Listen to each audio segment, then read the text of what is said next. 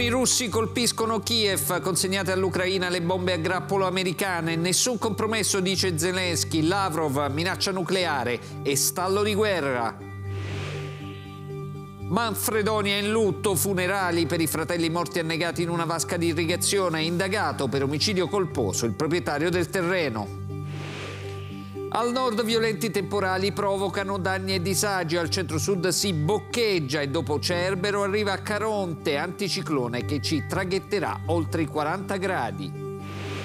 Prendersi cura dei nostri anziani, mappare quelli fragili e monitorarli periodicamente, città solidali contro l'isolamento e l'invito di Sant'Egidio al governo. Profeti di pace contro l'odio debutta a Firenze il Consiglio dei Giovani del Mediterraneo, un sinodo di under, di under 30 per coltivare la, di, la diplomazia dell'amicizia tra i popoli che si affacciano sul mare Nostrum. Buonasera, buonasera dal TG 2000 e dunque stallo totale, stallo mortale nella guerra in Ucraina. Gli USA consegnano le bombe a grappolo a Kiev e la capitale ucraina viene bombardata nella notte dai droni russi. Il Cremlino esclude colloqui di pace e Zelensky esclude concessioni territoriali in cambio dell'ingresso nella Nato. Il punto con Luciano Piscaglia. Un morto e quattro feriti è il bilancio di un attacco aereo russo lanciato nella notte su Kiev.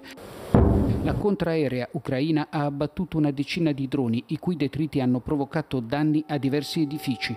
Il corpo carbonizzato di un uomo è stato trovato all'interno di un condominio in fiamme, mentre due dei feriti, una ragazza di 19 e un giovane di 23 anni, sono stati colpiti da schegge di vetro provocate dai droni abbattuti. È il terzo attacco in tre notti sulla capitale ucraina e secondo Kiev si sarebbe trattato di un attacco massiccio con droni entrati nella capitale da diverse direzioni. Intanto un nuovo piano per aumentare l'invio di munizioni all'Ucraina è stato approvato dal Parlamento europeo con 505 voti a favore, 56 contrari e 21 astenuti. Il piano, che entrerà in vigore dopo la ratifica del Consiglio europeo, prevede la fornitura a Kiev di missili e di munizioni per l'artiglieria per 500 milioni di euro.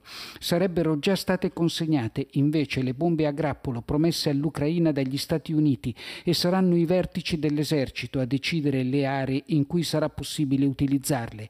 Kiev riceverà gli F-16 nei tempi previsti. Ad affermarlo è stato il ministro degli esteri ucraino Kuleba, cui il suo omologo russo Lavrov ha risposto che per il Cremlino gli F-16 a Kiev rappresenteranno una minaccia nucleare perché Mosca non può ignorare ha aggiunto, la capacità di questi aerei di trasportare testate nucleari. All'indomani del vertice NATO a Vilnius, mentre Volodymyr Zelensky esclude qualsiasi compromesso territoriale con Mosca sulla futura adesione di Kiev alla NATO, Lavrov smentisce anche che si possano tenere in questo mese colloqui ufficiali per la pace in Ucraina. Non può prevalere l'idea che non ci sia niente da fare, che non vi sia spazio per il dialogo creativo e la diplomazia, che occorra accettare il proseguimento di combattimenti feroci. Così oggi il segretario Vaticano per i rapporti con gli Stati, Gallagher, a margine di un evento a Roma. Rita Salerno. Le parole e i gesti pubblici di Papa Francesco sul conflitto in Ucraina non vanno interpretati come atti di vuoto pacifismo o espressioni di pio desiderio, perché non si rende giustizia all'intenzione del Santo Padre di invitare tutti ad essere tessitori di dialogo e artigiani creativi. Entra subito nel merito della sanguinosa guerra che da quasi un anno e mezzo sta devastando l'Europa dell'Est, Monsignor Paul Richard Gallagher, segretario vaticano per i rapporti rapporti con gli Stati e le organizzazioni internazionali alla presentazione del nuovo numero della rivista di geopolitica Limes dal titolo Lezioni ucraine. Forse anche di lezione per l'Ucraina e per tutti noi, ossia di ciò che questa drammatica guerra dovrebbe far capire all'intera umanità per rendere possibile quel cambio di mentalità ed atteggiamento in grado di mettere fine a tutti i conflitti del mondo. Quella di Papa Francesco è dunque una coraggiosa profezia di pace, denuncia Monsignor Gallagher, che non è stata accolta ma anzi condannata con spirito fazioso. Da parte sua il direttore di Limes, Lucio Caracciolo, ha messo in guardia sui veri obiettivi di questo conflitto che con il perdurare degli scontri armati si stanno perdendo di vista. La missione vaticana non è quella di trovare il bandolo di una matassa estremamente complessa, ma è quello di innanzitutto dare un segnale che bisogna parlare di pace. Consiglio Supremo di Difesa oggi al Quirinale, appuntamento convocato per fare il punto sulla guerra in Ucraina, ma forse anche occasione per un colloquio più largo tra il Presidente Mattarella e la Premier Meloni. Sentiamo Augusto Cantelmi non faccio dichiarazioni, Perciò, non come partecipo al testimonianze di dipendenti. Abbiamo già querelato stamattina. Faremo la nostra querela e chiederemo il nostro risarcimento danni. A oggi non ho ancora ricevuto nessun avviso di garanzia. Sono assolutamente tranquilla. Torna a difendersi il ministro per il turismo Sant'Anché e lo fa all'indomani delle parole del Presidente Consiglio Meloni che da una parte ha provato ad attenuare i toni contro la magistratura, dall'altra ha confermato le critiche, soprattutto sull'avviso di garanzia, critiche ribadite anche dal ministro degli esteri Tajani. Che è un fatto politico che crea qualche perplessità che si dia un atto destinato a una persona, prima a un giornale e poi a una persona. Questo è il fatto politico. Le opposizioni tornano all'attacco e criticano le parole di Meloni e ribadiscono la richiesta di dimissioni per Sant'Anché. E se vuole dare un segnale di responsabilità al Paese, di responsabilità politica, rimuova immediatamente la ministra Sant'Anché che in Senato ha mentito agli italiani. Per l'Associazione Nazionale dei Magistrati non ci sarebbero ancora le condizioni per una mediazione. Silenzio invece ancora dal Colle che dovrebbe firmare il disegno di legge sulla riforma della giustizia. Mattarella incontra Meloni in occasione della riunione del Consiglio Supremo di Difesa. Sul tavolo i risultati del vertice nato di Vilnius, ma spazio anche per il tema della giustizia. Uno sciopero dimezzato ma non per questo meno afflittivo per i viaggiatori, quello del personale ferroviario di oggi e all'orizzonte ci sono nuovi disagi sabato per la protesta dei lavoratori di terra degli aeroporti. Fabio Bolzetta. Sciopero dei treni dimezzato per cercare di arginare i disagi. Si è concluso alle ore 15 lo stop nazionale proclamato dalle organizzazioni sindacali Filt CGL, Fit CISL, Will Trasporti, UGL Ferrovieri, Orsa Ferrovie e Fast Confstal. Inizialmente di 24 ore, ieri sera è arrivato il provvedimento del Ministero dei Trasporti che ha precettato lo sciopero riducendolo a 12 ore dopo il nulla di fatto dell'incontro al MIT. Per il ministro Matteo Salvini capisco e sostengo i diritti di migliaia di lavoratori del comparto ferroviario ma questa lotta sindacale non può lasciare a piedi milioni di lavoratori italiani. Contrari alle misure, i sindacati che hanno chiesto interventi su manutenzione dei mezzi e turni. Un'adesione allo sciopero massiccia in Sicilia, secondo la Filte CGL, con il 90% dei treni cancellati dopo la fascia di garanzia chiusa alle 9 del mattino e del 98% in Sardegna, 70% in Puglia, situazione tranquilla invece a Bologna, alla stazione Termini, lunghe code in biglietteria, soprattutto di turisti stranieri. Siamo in fila in attesa a causa dello sciopero, ci dice un cittadino statunitense di ritorno da Monopoli. Abbiamo fatto due ore di fila ci è stato dato un nuovo biglietto e quel treno è stato cancellato. Si sfoga un gruppo in vacanza dall'Australia. Da dove venite? Avezzano, lei Bolzano. Ah, e per lo sciopero avete avuto problemi, difficoltà? No, nessuno. No, sono venuta diretta da Bolzano e scesa qua. Tutto perfetto anche in orario. Sabato sciopero dei lavoratori del personale di terra aeroportuale. Chi può dunque parte, scioperi permettendo, ma magari prenota per un periodo di tempo più limitato. In quest'estate infatti gli italiani devono destreggiarsi tra voglia di vacanze e aumenti a tappeto. Nicola Ferrante. In vacanza ad ogni costo, chiuso il periodo della pandemia, agli italiani è tornata una voglia matta di viaggiare. Nonostante il caro prezzi, gli italiani vogliono andare in vacanza. Le dirò che negli anni scorsi non c'era più stata la richiesta di poter eh, comprare il viaggio a rate, quest'anno ci è stata nuovamente richiesta la possibilità di fare un finanziamento per comprare un, il viaggio. Un italiano su due andrà all'estero, secondo le associazioni di categoria.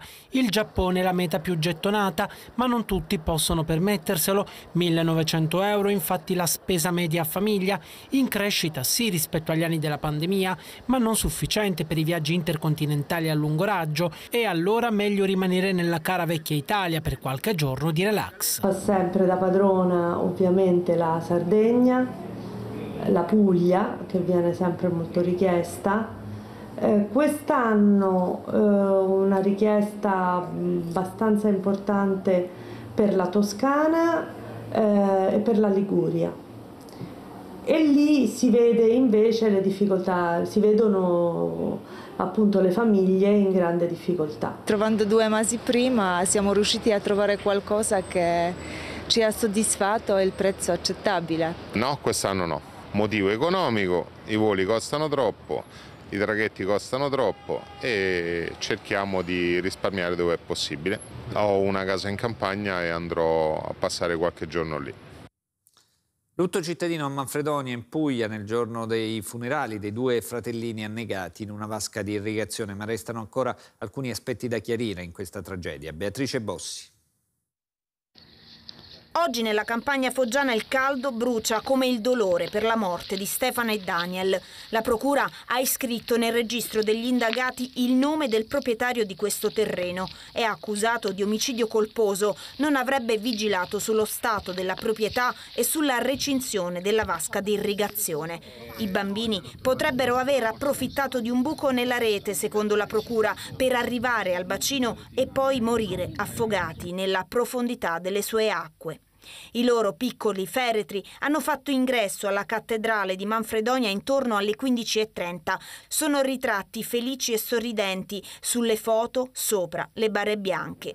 A salutarli per l'ultima volta qui c'è tutto il paese, le autorità civili e militari della provincia di Foggia, il questore e il sindaco, che ha indetto per oggi lutto cittadino. La mamma dei bambini entrando in cattedrale ha avuto un malore ed è stata accompagnata ad un presidio presidio del 118. Il rito funebre, cominciato con quasi un'ora di ritardo, è stato officiato dall'arcivescovo Moscone. Il dolore è troppo forte, ha detto durante l'omelia, la famiglia non può tornare a vivere in quel podere, lanciando poi un appello alle istituzioni affinché trovino loro una nuova casa e mettano in pratica velocemente un piano di accoglienza per i migranti di queste zone. E di un morto e di tre feriti, di cui due bambini, il bilancio del tamponamento di un'auto contro un tir sulla, sulla, A4 nei pressi di Idolo, siamo in provincia di eh, Venezia. L'auto con a bordo quattro persone, tra cui appunto i due minori, è finita contro un auto articolato che era ferma, fermo in una piazzola di sosta. Le cause dell'incidente sono al vaglio della polizia stradale. È foschissimo e angosciante lo spaccato che emerge da un'inchiesta a Firenze su violenze sessuali tra minorenni. David Murgia. È stata una mamma ad accorgersi dell'orrore che si sarebbe consumato la notte dello scorso Capodanno in provincia di Firenze, un festino a base di alcol e droga a cui hanno partecipato alcuni minori e in cui sono state violentate due dodicenni. Ed è appunto dalla denuncia di questa mamma che ha trovato alcune immagini del cellulare del figlio che durano all'incirca un minuto in cui si vedevano chiaramente due ragazzine fare sesso con un ragazzo poco più grande che sono scattate le indagini della polizia postale. Ora 24 minori, 9 ragazzi e 8 ragazze risultano indagati per violenza sessuale aggravata e produzione, detenzione e divulgazione di materiale pedopornografico. Le violenze sulle due dodicenni si sarebbero consumate abusando della loro condizione di inferiorità psichica dovuta alla giovanissima età e all'assunzione di sostanze alcoliche stupefacenti. Inoltre, i minori che avrebbero assistito hanno documentato le violenze con foto e video divulgati poi su piattaforme di messaggistica istantanea con tanto di gruppo WhatsApp dedicato al festino. L'aumento che abbiamo constatato delle ipotesi di detenzione e di divulgazione di materiale pedopornografico proprio da parte dei minorenni ci induce a pensare che spesso eh, ci sia una forte sottovalutazione da parte dei ragazzi, i quali probabilmente non sono del tutto consapevoli della rilevanza penale di queste condotte e anche delle conseguenze che questi comportamenti sono inevitabilmente destinati a produrre. Quello che emerge secondo la Polizia Postale è un quadro di assoluto svilimento delle persone offese, degradate e considerate al pari di oggetti con cui soddisfare un mero bisogno fisico. La Corte di giustizia dell'Unione Europea ha respinto il ricorso di un giudice italiano sulla incompatibilità con il diritto europeo dell'obbligo di vaccinazione per il personale sanitario. Il caso era stato sollevato dal giudice del lavoro di Padova, a cui si era rivolta un'infermiera dell'ospedale universitario della stessa città, sospesa dalle funzioni e dalla retribuzione per non aver rispettato l'obbligo di vaccinazione contro il Covid-19. La Food and Drug Administration, l'agenzia federale americana preposta al controllo di farmaci e alimenti, ha approvato per la prima volta una pillola anticoncezionale da vendere senza prescrizione medica. Il farmaco, chiamato Opil, sarà probabilmente disponibile negli Stati Uniti all'inizio del 2024. Si discute ancora dopo il via libera dell'Europarlamento alla legge sul ripristino della natura. Un punto di vista particolare è quello espresso dagli agricoltori. Sentiamo Giuseppe Caporaso.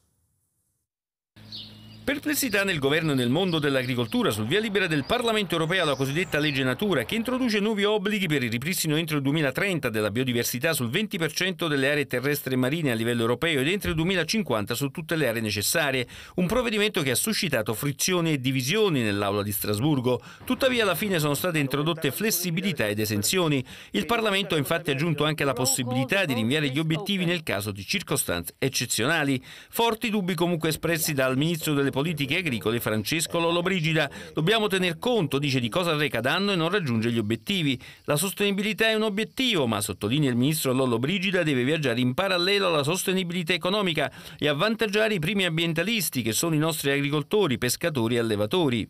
La legge cerca di imporre agli Stati traguardi vincolanti per il ripristino delle aree terrestri e marine danneggiate dall'inquinamento e dallo sfruttamento intensivo. Secondo gli uffici europei lo stato dell'80% dei cosiddetti habitat naturali del vecchio continente è cattivo o mediocre e per questo si chiede un intervento in due fasi entro il 2030 e poi il 2050. Sui fiumi i paesi dovranno individuare le barriere fluviali da rimuovere per contribuire ad avere 20.000 km di fiumi a flusso libero entro il 2030. C'è anche un bambino morto in mare insieme ai 50 migranti soccorsi dalla nave Dattilo della Guardia Costiera e portati a Reggio Calabria. Cesare Cavoni. Ancora sbarchi e ancora morte sulla rotta del Mediterraneo centrale. Dall'inizio del 2023 otto morti al giorno. Tra stanotte e stamattina a Lampedusa sono approdati 250 migranti a bordo di sei imbarcazioni e sempre in mattinata 50 migranti sono stati soccorsi in mare e condotti nel porto di Reggio Calabria a bordo della nave Dattilo della Guardia Costiera ma uno non ce l'ha fatta. Si tratta di un bimbo di 4 anni, forse di nazionalità nigeriana. Il suo corpo è stato recuperato al largo di Lampedusa, dove si è verificato il naufragio dell'imbarcazione di Fortuna, a bordo della quale il piccolo viaggiava assieme ad altri migranti, tra cui la madre, per la quale è stata disposta l'assistenza psicologica. Non si conoscono al momento altri dettagli sulle cause del decesso, ma solo che la donna e il bambino facevano parte del gruppo di migranti non provenienti da Lampedusa, ma soccorsi in mare.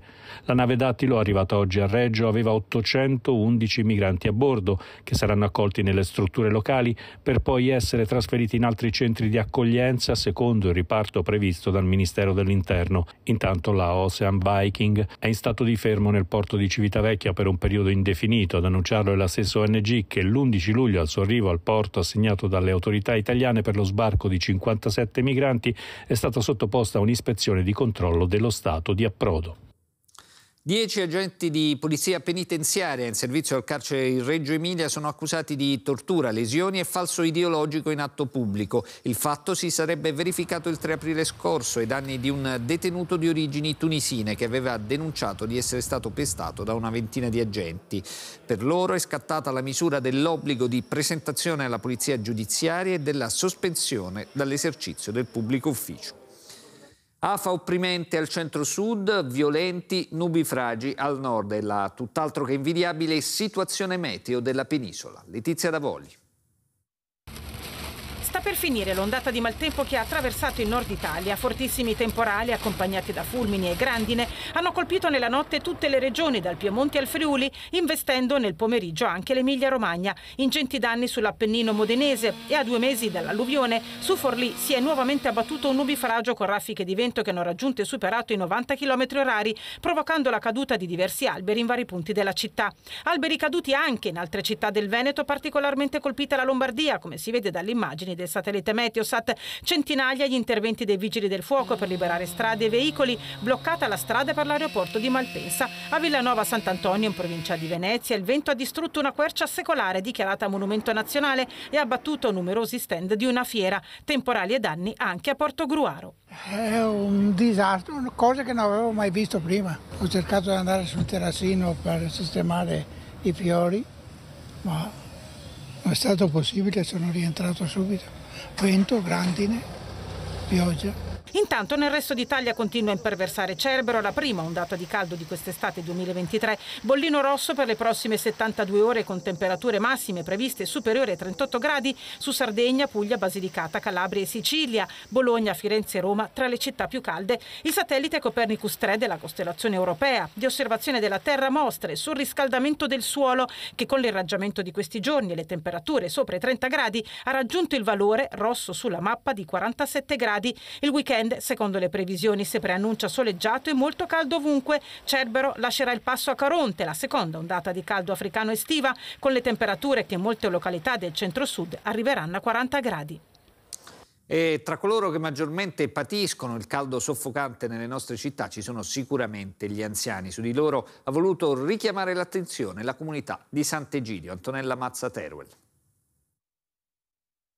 anche in sintonia con la giornata degli anziani del 23 luglio che Papa Francesco ha aperto per tutta la Chiesa. Oggi abbiamo eh, sollevato un problema come comunità di Sant'Egidio al, al, all'Italia, che ci sia una grande campagna di solidarietà eh, con gli anziani per proteggere la vita degli anziani. In Europa siamo il paese più vecchio, sia con il maggior numero di anziani, nel mondo siamo il secondo dopo il Giappone, un primato che comporta un impegno per ciascuno, soprattutto con l'arrivo dell'estate, perché il caldo e la solitudine insieme diventano una miscela esplosiva. A sostenerlo la comunità di Sant'Egidio, che si è rivolta innanzitutto al governo perché al più presto scrive i decreti attuativi della legge delega sugli anziani dello scorso 31 marzo. Positivo poi che il nuovo decreto flussi d'ingresso regolare preveda la figura del badante, perché è diventata difficilissima la ricerca di questo tipo di assistenza, mentre è carente la carta acquisti dedicata a te, appena emanata dall'esecutivo, rivolta solo ai nuclei familiari di almeno tre persone. Ci sono appunto 9 milioni di anziani soli o in coppia. Ecco, quindi chiederemmo che questa carta dedicata a te tenesse conto degli anziani soli. Il 65% degli anziani infatti è solo in coppia in situazione di fragilità e la Sant'Egidio si rivolge allora all'Associazione Comuni Italiani per una mappatura, come avviene per i rischi idrogeologici, per monitorare e localizzare gli anziani fragili in modo da predisporre interventi tempestivi in caso di emergenza ma poi c'è la quotidianità in cui l'intera società può attivarsi, un volantino a firma della Sant'Egidio contenente 10 consigli utili per fare attenzione agli anziani vicini di casa o del quartiere verrà distribuito nelle parrocchie, nei supermercati, alle poste e in altri luoghi perché ognuno può fare la differenza per una città solidale contro l'isolamento di chi è più fragile. Non sono ancora state trovate tracce dei due alpinisti piemontesi dispersi da lunedì sera sul massiccio del Monte Bianco. Nelle ultime ore i soccorritori sono riusciti a sorvolare in elicottero la zona da dove i due avevano lanciato l'allarme, spiegando di non riuscire a proseguire a causa delle difficili condizioni del terreno. La scarsa visibilità e il forte vento in quota ostacolano le operazioni del soccorso alpino. L'antitrust ha chiuso l'istruttoria relativa ad alcune clausole dell'accordo tra Team e Dazon sulla trasmissione delle partite del campionato di calcio di Serie A nel triennio 2021-2024. L'autorità ha sanzionato Team per oltre 760 mila euro e Dazon per oltre 7 milioni e 240 mila euro in base ai ricavi derivanti alle due società dalla commercializzazione dei diritti televisivi per la stagione 2021-2022. Si è insediato a Firenze il Consiglio dei Giovani del Mediterraneo, un'iniziativa fortemente voluta dalla Chiesa italiana. Marino Galdiero è fatta a un anno di distanza dal suo lancio durante il raduno dei vescovi e dei sindaci del bacino del Mediterraneo, si è insediato a Firenze il Consiglio dei giovani di quel mare che spesso ricordiamo per le tragedie che coinvolgono i migranti. Questa volta noi, 40 ragazzi e ragazze provenienti da 18 paesi che si affacciano sul mare Nostrum, rappresentano la possibilità di un mondo diverso, infatti si incontrano per condividere un ideale di convivenza tra i popoli fondato sulla fraternità. Il Consiglio non è un luogo che si limita a pensare a progettare, è già un luogo di incontro perché sono giovani che provengono da diversi paesi e quindi ciò che anzitutto da fare è diffondere questi germi di unità, di concordia, di armonia dentro i territori. E, e poi la, eh, i contrasti devono sempre dal contrapporre il mio al suo, all'altrui. Punto di riferimento imprescindibile dell'iniziativa è il venerabile Giorgio Lapira, il sindaco santo, come era soprannominato per il suo impegno per la pace e i più poveri. La proposta di un Consiglio dei giovani del Mediterraneo è partita dalla Chiesa italiana ed ha tra i suoi obiettivi la promozione dell'ecumenismo e del dialogo interreligioso, ma anche coltivare quel germe di speranza che ogni giovane rappresenta. Giusto ieri parlavamo con un, uh, con un, ragazzo, con un giovane della Tunisia, eh, io appunto sono agrigentina, ci dicevamo banalmente quanto siamo vicini geograficamente e quanto difficile è raggiungerci, eh, attraversare appunto il mare da costa a costa, quindi puoi immaginare quanto complicato può essere argomentare questi temi e quante speranze noi eh, giovani abbiamo eh, nell'incrementare forme regolari magari di, di migrazione o eh, nell'agevolare lo spostamento di di chi per necessità eh, appunto deve muoversi. Facciamo una piccola pausa, ci vediamo tra poco. La Corte d'Assise di Pisa ha condannato in primo grado per omicidio volontario in concorso gli ex caporali della Folgore, Alessandro Panella, 26 anni, e Luigi Zabara, 18 anni, per la morte di Emanuele Sceri. Il Parà di Leva trovato cadavere nella caserma Gamerra nel 1999.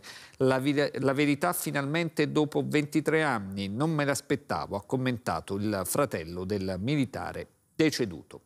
E con questo è tutto, vi lascio al meteo e alla diretta della messa, prossima edizione del nostro TG2000 alle 20.30. Grazie e arrivederci.